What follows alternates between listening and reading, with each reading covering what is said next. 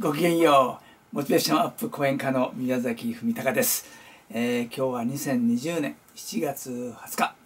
えー、月曜日です、えー、今日中国新聞を見てみました。一面トップに被爆者団体37%継続困難。2025年高齢化後継者不足。と書いてあります。ああこういう流れがあるんかなと思って、えー、見ておりますね。えー、被爆者75年に合わせて中国新聞社が全国の被爆者団体を対象に実施したアンケートで回答した団体のうち4割近い37.1%が被爆80年となる2025年に活動を継続できないと考えていることが19日分かったというんですね。まあ、これが高齢化と高齢者不足の原因だと書いてありますが、あ被爆者80年となると、まあ、継続するのが難しい。うんでもこれはなんとか手を打たないと広島からの発信があこれ弱くなりますね。そして気になるのはやはりコロナですね、えー、広島市新たに1人感染。公表10日連続福山市でも1人岡山市で4人確認。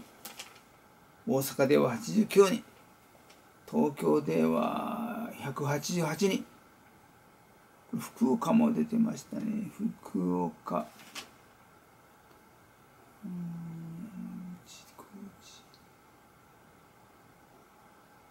福岡32人ですね。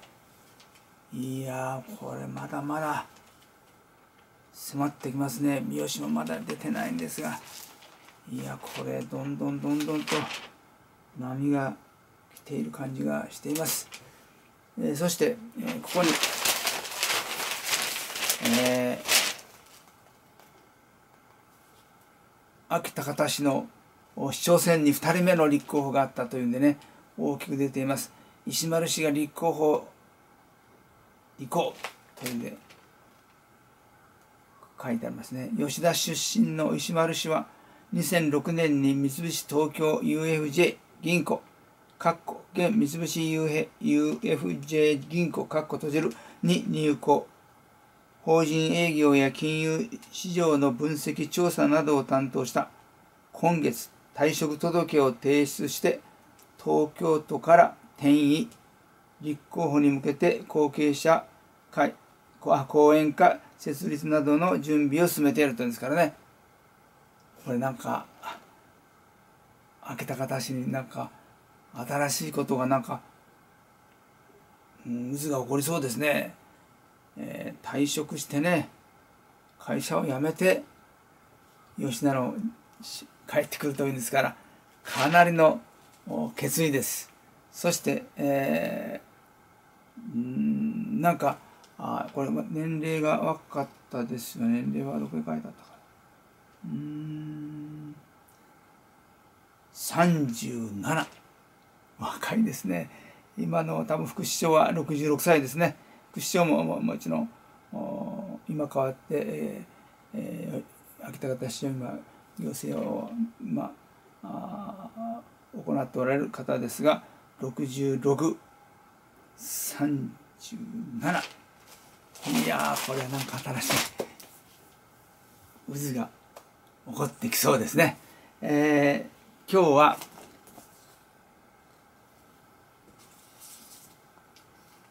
広島人夢未来塾というのをですね、えー、紹介してみたいと思います。えー、これが第6期というんですからね、えー、実績がありますね。えー、こんな内容をもらいました。えー、コロナ禍は我々の価値観を一変させ時代の区分を新しい色に塗り替えました。かあのコロナ禍の禍ですね禍というだけに大変なことはたくさんあるわけですが中山間地域振興に関わるものとして長らく続いた東京一級集中から地方にその価値観が移るチャンスではないかと期待しているところです。書いてありますね。さて、広島中山間中山間地域振興の事業として好評をいただいております。なかなか人気があるように聞いておりますね。中山間地域の企業塾、広島人夢未来塾も今年で6期目を迎えることになりました。6期だったんですね。あまり気がついてなかったんですが、あ6期目です。えー今年は感染症対策を考慮し、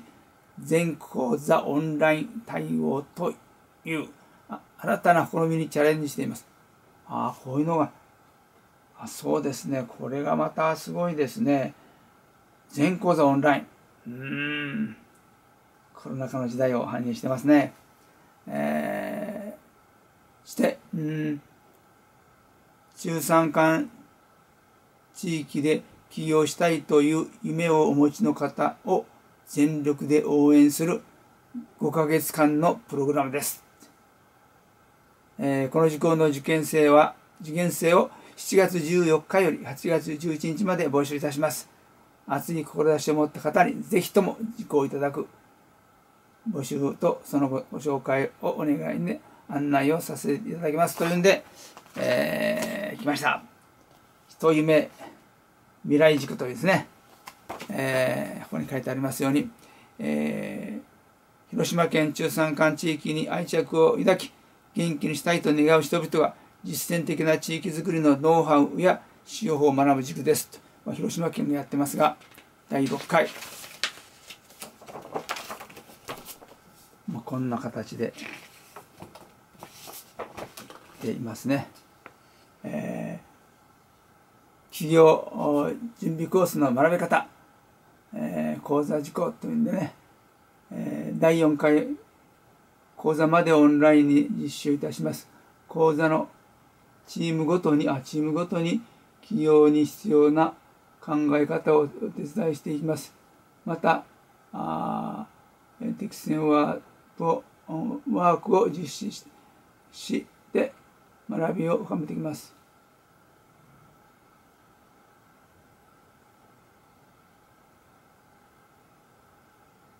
課題の実施とか企業ブラッシュアップ必要に応じた個別サポートでこれで、えー、書いてありますのがこれですね、えー、第5回講座ではビジネスプランのプラ、えー、プレゼンテーションを行っていただきますというんですが、まあ、最後にはですね、えー、講座を受けた出番がありますのでそれを受けて私はこうするというね話をするようになっておりますこれも楽しみですよねまあ、あ夢が前に進みます。そしてここにあの受講された方の案が出ておりますけども、えーまあ、これを受けるとですね、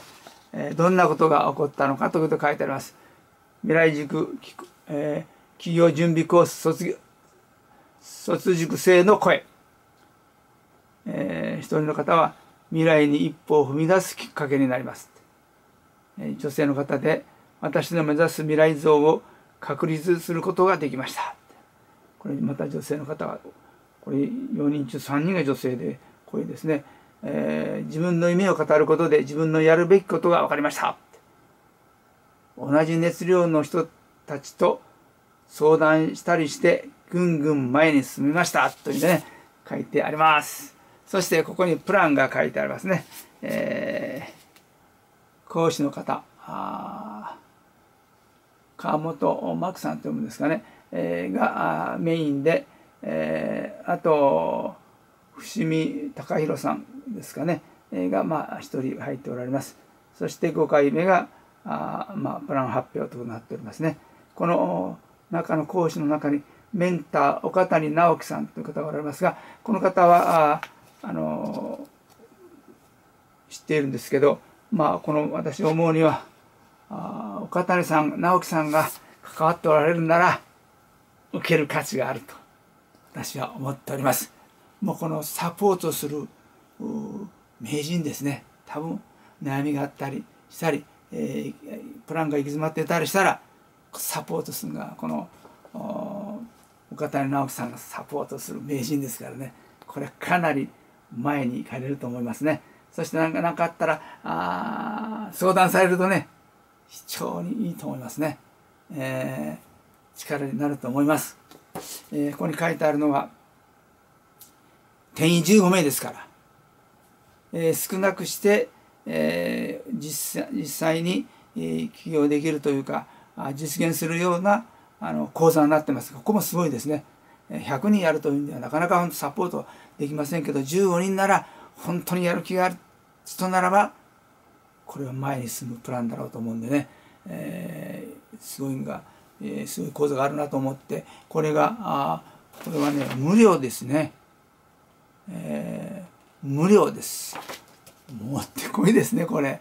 えー、そして今回はあのズームでやるんですか？家で受けられますから。あ負担もすごく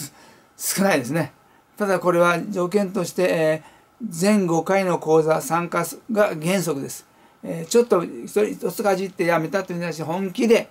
えー、やる人でないとまあ、受けられません。15名ですし、えー、サポートしようと思ってますから、えー、いっぺんに2に来ただけで、え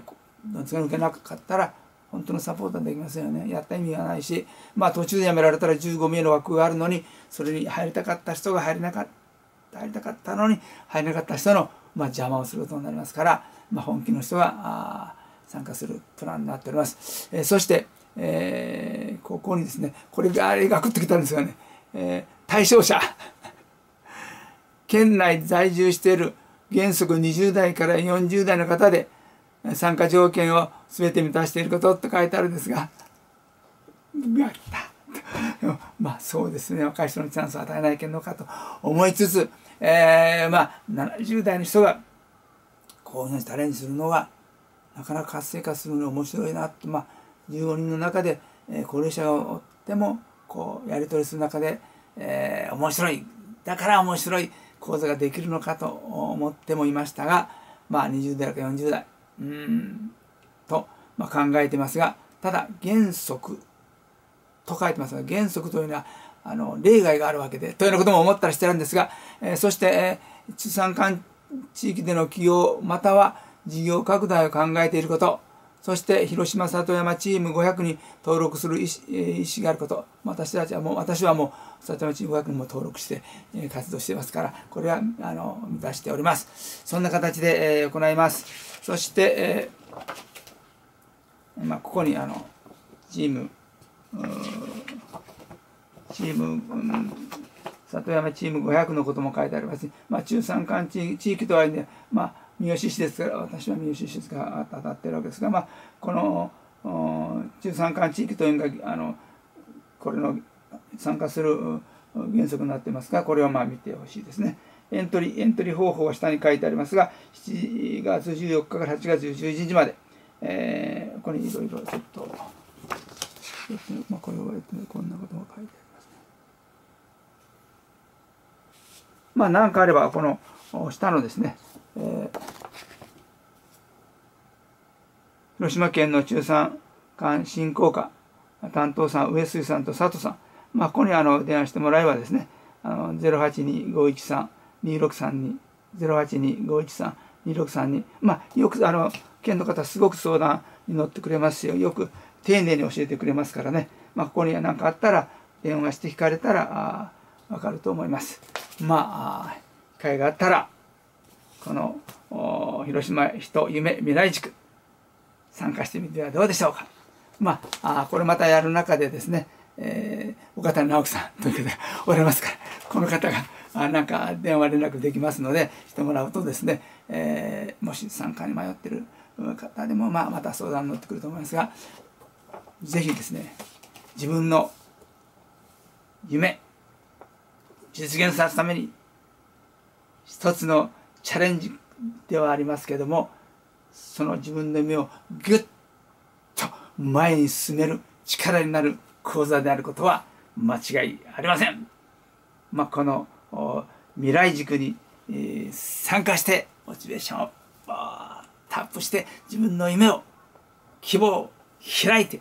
ぜひ行ってください。えー、人夢未来塾よろしくお願いします。チャレンジ登録よろしくお願いします。ではまた明日ごきげんよう